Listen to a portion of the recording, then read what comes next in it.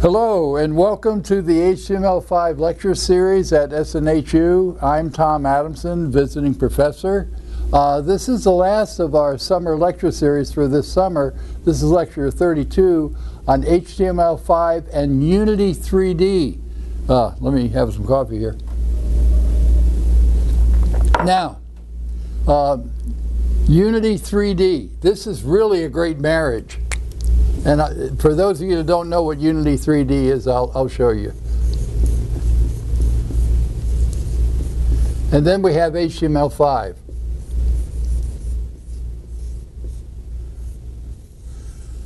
What we can do is that we can have Unity 3D, a game uh, that you play in Unity 3D, actually talk to its HTML document, and we can have the document actually talk to the game.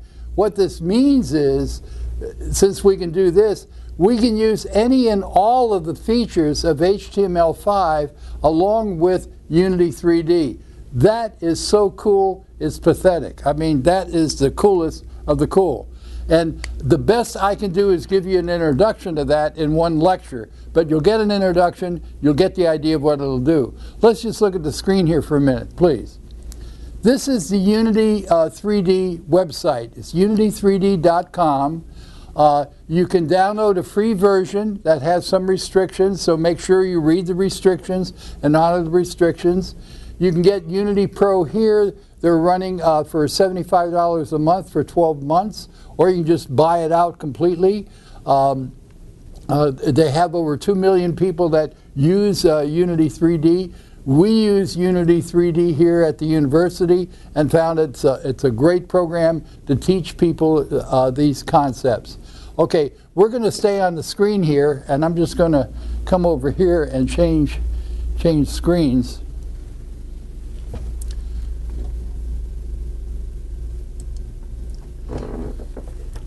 What I've got here is I've got uh, Unity 3D, and this is the free version. And for those that aren't familiar with it, I'll sort of walk you through it. Uh, what I have is that this is the editor window here. And I've got a ground here. Uh, I have a plane, and I have a first-person controller, which is this right here. That's going to be me. Uh, and then I have a directional light to light up the scene, and I have a cube, which is this right here. And I also put in a skybox so that you can sort of see the sky and what have you.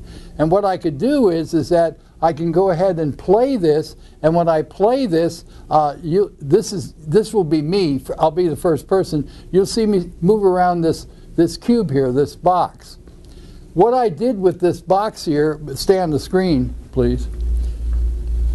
What I did with this box, I'm going to click on it,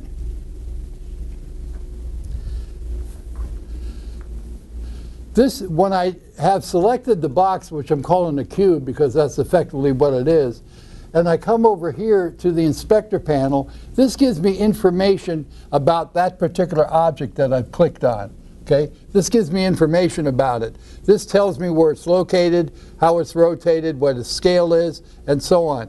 What I did is I checked the little box here and I said this is going to be a trigger, which means that when I walk up to it, I can walk right through it. And if I have code, the correct code, it'll register when I walk into it. Okay, let's, let's have a look. Uh, stay on the screen there. What I'm going to do is I'm going to change this top window to a console. And then what I'm going to do is I'm going to come here and play it. And now that I'm playing it, I'm going to move around the scene, as you can see down the bottom panel and I'm going to move forward and touch the cube. And as soon as I touch it, it says hit me.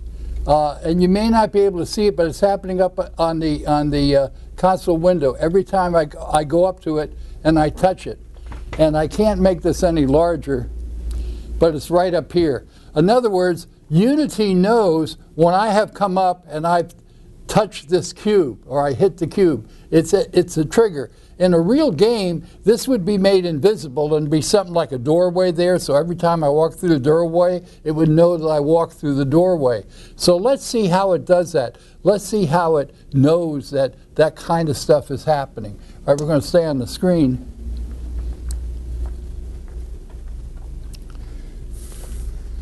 I'm going to come back here uh, and get out of the run mode and come back to the scene here. And what I've done uh, with the first person controller, I'm going to click on the first person controller. That's me, okay? And the first person controller, this is the inspector panel. This is all the information about the first person controller that I can change. And one of the things that I see way down here at the bottom, it has attached to it a script that's called My Trigger. Well, a script, it, I can write a script in Unity 3D either in JavaScript or in Boo, which sort of looks like Python, or I can write it in C Sharp. I chose to write it in JavaScript. So what I've done here is there is my script, and, and I've attached it to the first person controller. So every time the first person controller touches that box, this script is triggered let's see what's in that, uh, that script called My Trigger. Stay there on the screen. And um, I'll double click on it. It'll take a while for this to come up. Okay, it's mono, mono development. And I'll see if I can enlarge it. Yeah, I can. This is the script that does it. It's a function called onTriggerEnter. And onTriggerEnter is a Unity 3D reserve function. And this right here, uh, this will pick up uh, what I've collided with. I'm really not using this, but I have to, have to put it there anyway. Then what I tell it to do is print hit me. In other words, every time I go in there and, and, and hit that trigger, onTriggerEnter will be initiated and this function will run, which means it'll print hit me. And that's exactly what you saw. It said, okay, what's the big deal about that? All right, here's the big deal. What I want to do is I want to come to the board here.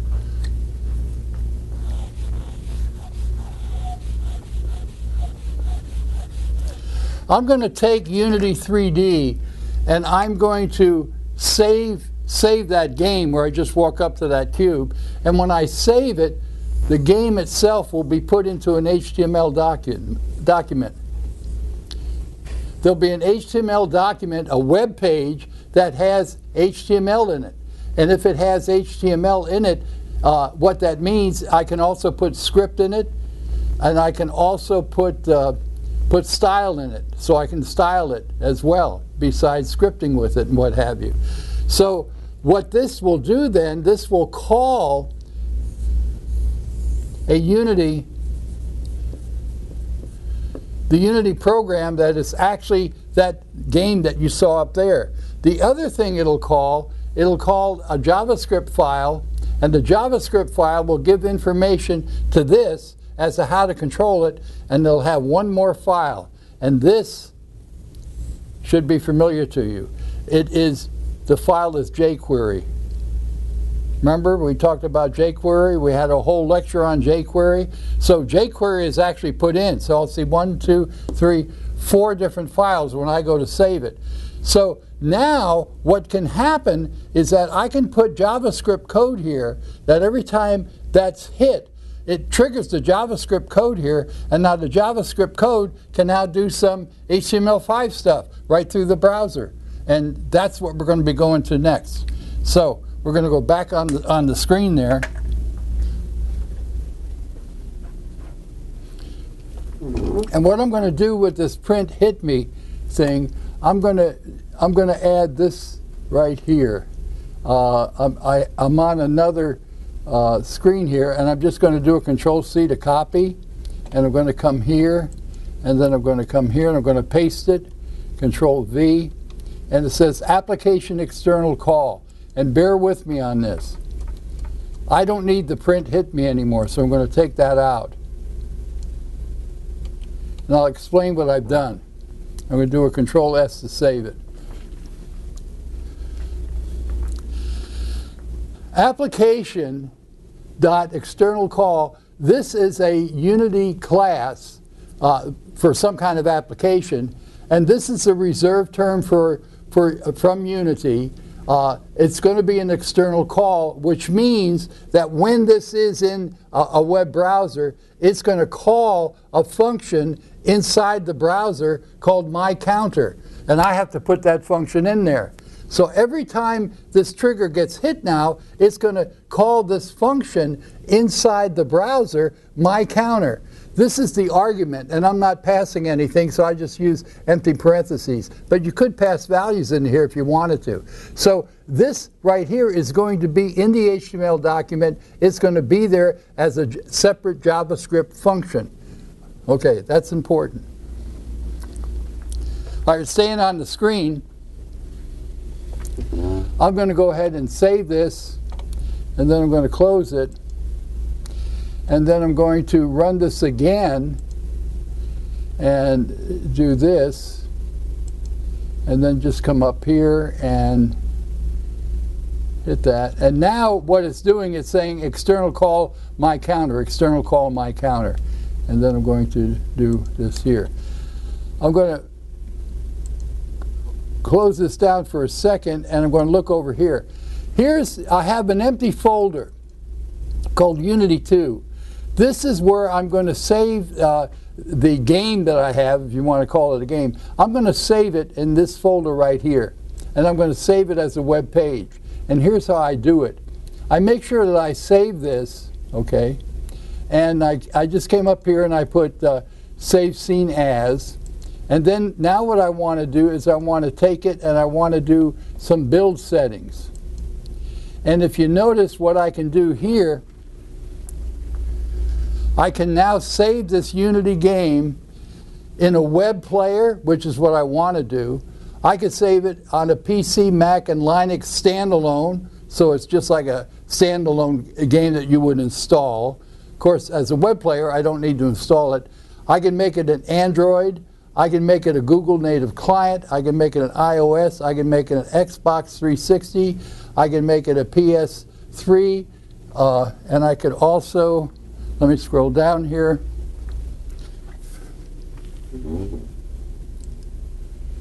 Make it a Wii or I can make it a Flash player. Now, this is not the latest version of Unity 3D uh, that I have here uh, because I think they removed the Flash player component. So it says, okay, a web player, uh, I want this scene that I have now, I want it streamed, I want it to be offline deployment, so I'm going to build it. And now it says, where do you want to build it? Well, I want to build it in Unity 2. That's the empty folder. So I'm going to select the folder. And now it's compiling the scripts. It's doing the build. And now there it is, Unity 2. So I open it. Now let's see what's in there.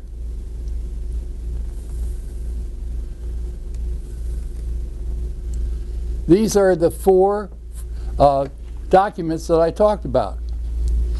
What I have in here now is I have the jQuery, I have the Unity HTML stuff, I have the Unity uh, uh, 3D. This is actually the, the all of the stuff for the game. And then I have the Unity Object.js. This is JavaScript that'll control it. I'm going to double click on this, and then I'll open it. We'll see what's on the inside. So I'm going to double click. And here it comes, it's starting to load the Unity game into it, and there I am, just like I had uh, before. And I can move around in this world. I'm using my S key, my D key, and I'm going to come up here and click it. And nothing's happening. I don't see anything at all happening in the browser. What this is, is that all of this is an HTML document, as you can see here. The whole thing is. Uh, this is something that's being called from that Unity uh, 3D uh, file, which is right in here. I want what's in here, what I'm doing here, to be able to talk to what's out here. And what I do here to influence with what's out here. And here's how I can do that. Stay on the screen. So what I'm going to do is I'm going to close this down and I'm going to right click and I'm going to open with my favorite editor which is Notepad and when I open it with Notepad, there's my document. And this should not be strange to you. Uh, here's my here's the head of the document. Uh, the definition, the doc type on this, as you can see, this is not uh, a, a, HTML5 uh, document. This is uh, the older XHTML. If it were HTML5, it would be doc type HTML, and that's it. It wouldn't have all this. So, like I said, this is the older version of, of Unity, but it doesn't make any difference. What I'm going to do down here, here's a jQuery function. That should look familiar to you. There's the dollar signs for it and what have you. I'm going to put um, I'm going to put that function that I talked about. Remember I called it, what did I call it? I called it uh, uh, my counter, external call my counter. Okay. So, and again, I'm going to copy paste it just so you don't have to go through the, the messiness of my, of my slow typing. I'm going to do a control C.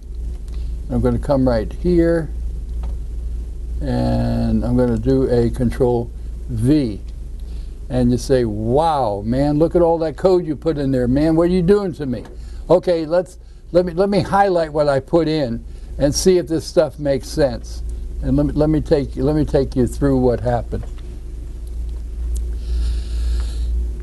This is a JavaScript function. I put it inside the script element. This is where the script element ends that, uh, that Unity 3D set up for me. I said that the, that the uh, function I was going to call would be named my counter.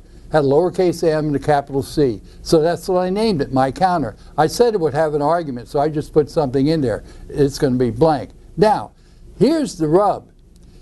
If local storage dot my count, you might say, wait a minute, what is local storage my count?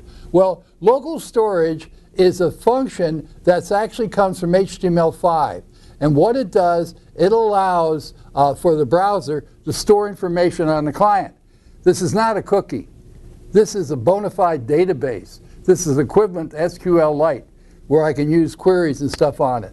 What this does is says, what I want you to do, I want you to store the value of my count. My count is an integer. So what happens is says if local storage my count, if it does exist, if there's something there, then local storage my count is going to be number local storage dot my count plus one. Number casts this to a number value. Otherwise, uh, the uh, uh, JavaScript is going to think it's a string. So, if, if, however, if this doesn't exist, if local storage, in other words, this is the first time I've used the program, that's what the else is for, then local storage my count is going to be equal to 1. And, and, and now what I have here is that I have a message, variable my message, this is a string, e equals, and this is inside quotation marks. Your score is, there's the end of quotation marks, concatenate local storage.myCount. In other words, what will happen is that this is going to say your score is and whatever the value of this is. So every time this is called uh, in, in the game, what's going to happen is that uh, local storage, my count is going to be increased by one. Now, I'm using a document object model here.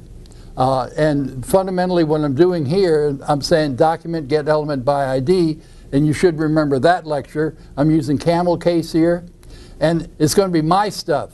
So I have to have something with that as an, uh, an ID, uh, as an attribute. And its inner HTML is going to be this message. So what will happen, it'll display my message, your score is, through the web browser. But I have to find out where in the web browser I want this displayed.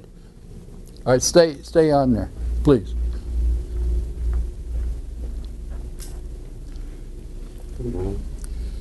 So I'm going to come down here now, and this is all my style sheets that Unity 3D has set up for me. All my style. I'm going to come down here to the body, and uh, I got to remember what, what it was that I called that. I called that uh, my stuff, okay? So I'm just going to highlight my stuff because that's what the ID has to be for the, uh, for the HTML element that I'm going to use to display that, that text. So I'm coming down here to the body and I'm going to put an H1 element in there. H1 and I'm going to put ID is equal to, uh, this will be the attribute, control V, my stuff, okay? and then I'm going to close that and then close off the uh, H1 element. And then let me just do this. So this is stuff that I'm adding to the web page that Unity 3D made for me. And staying on the screen here, what's going to happen now, this is the identifier, my stuff, that the document object model was referring to. And the inner HTML, even though this is, uh, this is an empty element, uh, the inner HTML is going to put that text right in there. Fingers crossed, everything always works right the first time. Okay, so staying on the screen, I'm going to make sure I save this Control S, and then I'm going to come here like this. And now I'm going to go on Unity here. And then I'm going to come here. And it says your score is 1. Your score is 2. So what I see here, this is actually in the HTML document. This is the code that I put in. So it's counting. Every time this gets hit now, it calls that external JavaScript function. That external JavaScript function now uh, goes in and starts doing the counting. And notice that this is now a 2. I'm going to make it a 5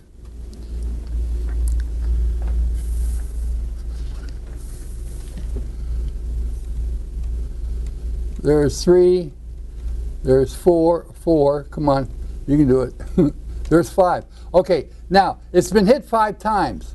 I'm going to close the web page. I close the document. So the document is completely closed. The count was left at five. I could now shut off the computer. I'm not going to do that because it takes too long to boot it up, but I could. I could shut off the computer. I could turn off the lights here in the classroom. I could go home. I could come back next week and fire this up again, and let's see what the count uh, is going to be.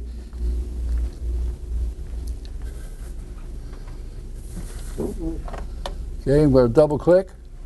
There it is. Okay, and then I come here. And now what does it say? Score is 6. So the point is, the power of this is that it remembered it remembered where the count left off. The reason why is because it's stored locally on the computer I'm using here.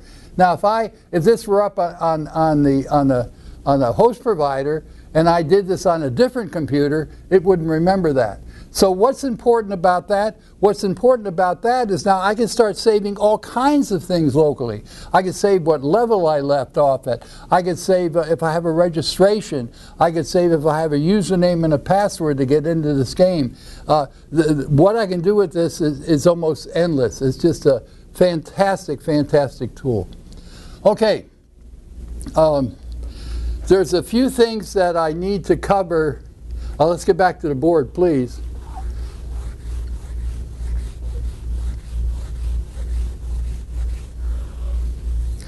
One of the things that we saw in the last lecture is we saw JSON files.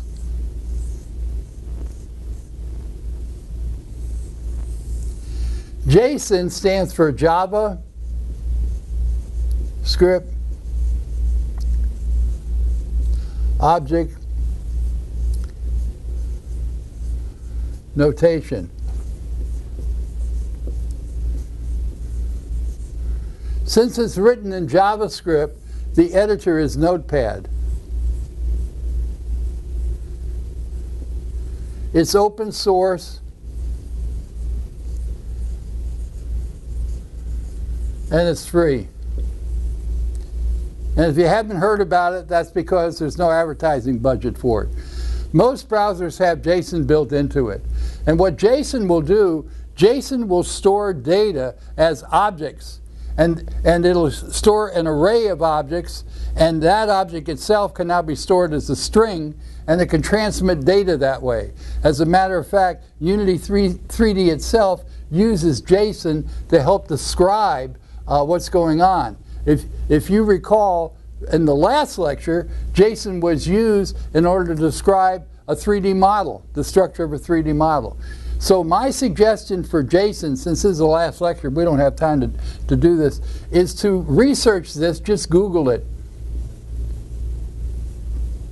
And you'll find many great tutorials on JSON. But you should know JSON if you're going to do anything at all with HTML5 or databases and what have you, just like you should know XML. And we had a lecture on XML. Uh, XML and JSON uh, do about the same things, they just do it differently. So some of the, uh, we saw that uh, for one of the formats uh, from last lecture uh, for a 3D model was done in XML. Okay. Okay, staying, staying on the board here.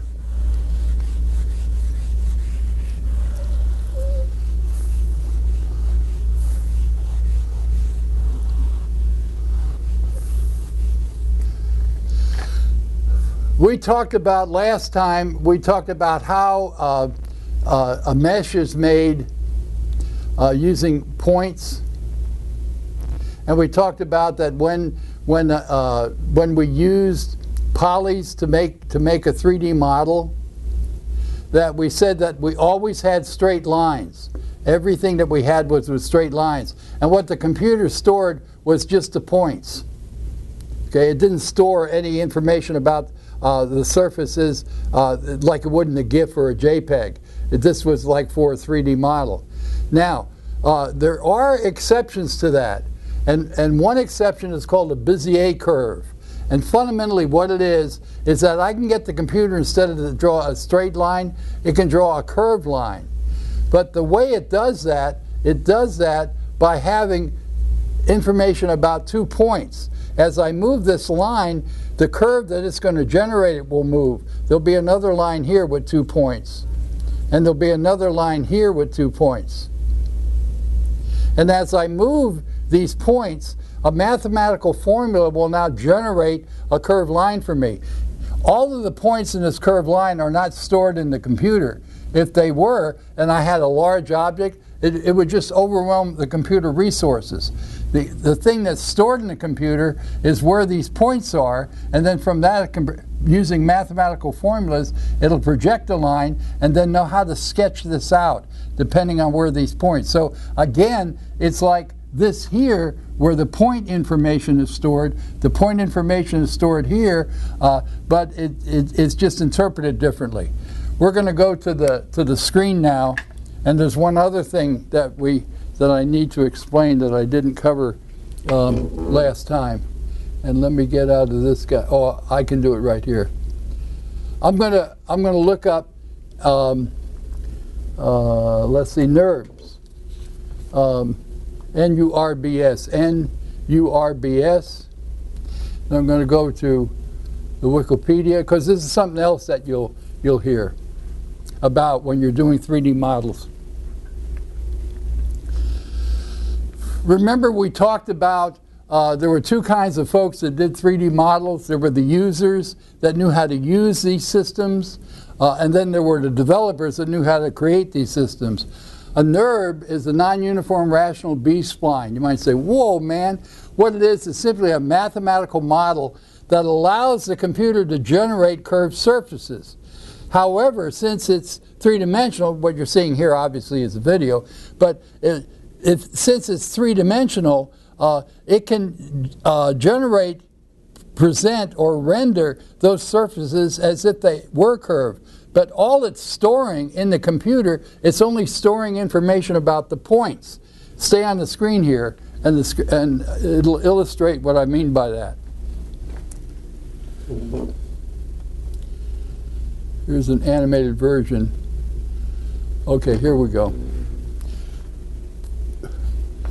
If you notice what it's doing here, these are the points that it stores information about what it does is that it interprets uh, the slope of these lines, how they're sloped, that, that as to how it should generate the curve, how it should render it. This curve is only rendered when it's needed. Uh, the st stuff that's actually stored inside a computer are those points in order to make that. Uh, and, and the formulas that are used to do that, stay on the screen please. The mathematics that's used to, to generate that is, uh, oh yeah, I got to go back here. I'm sorry. Okay. Stay with me. It's right down here. there's the math, that's for the B splines. And there's uh, for, the, for the NURBS curve. So even though it's stor storing information about points, the, the, the, uh, the machine itself that's generating these objects that you see is using these mathematical formulas in the background to generate those curved surfaces.